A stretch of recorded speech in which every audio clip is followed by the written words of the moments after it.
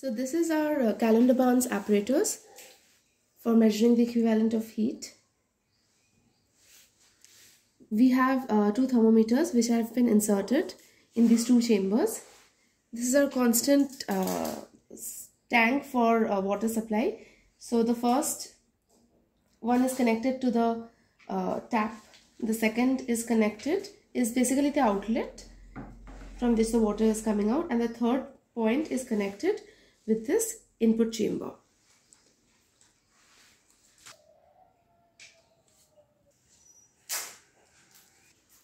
So we have to connect the power supply of the Callendar Barnes which is connected to these two points over here and a voltmeter is also provided which is again connected across these two points as shown. The meter is already inbuilt so we don't have to make any separate connection for that. This is the output. So the water will be coming out drop by drop. That flow of water can be uh, adjusted with the help of this pinch cork. This needs to be collected in a, either a beaker or a graduated cylinder and then it needs to be measured. So we have kept the current at 2 ampere and the voltage is at around 11 volt and we have kept it at this condition for about 5 minutes or so. Now if we zoom in here, you'll notice there's a temperature difference. At the input, the temperature is coming to be around uh, 23 degrees centigrade and here at the output,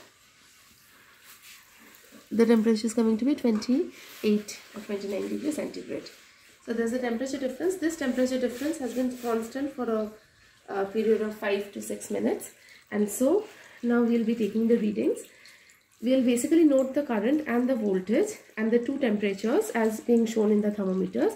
And we will collect uh, the this drop by drop water that is coming out in a test tube or a beaker for a period of say one minute by using a stopwatch and then we will calculate from there on.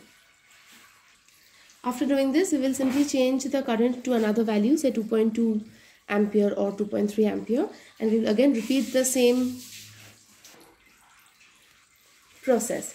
So uh, then we will see that there will be an increase in the temperature but the temperature difference should be maintained at whatever it is got in the first time like if say if we get 4 degree temperature difference it should be maintained in the second one also uh, this can be done by adjusting the output flow of the water using the pinch cork. If we increase the output flow such that we have to increase the output flow such that uh, the temperature difference remains constant. And from here we will take the readings and finally calculate according to the formula given in the manual to find the value of J that is the equivalent equivalence heat using Callendar Barnes method.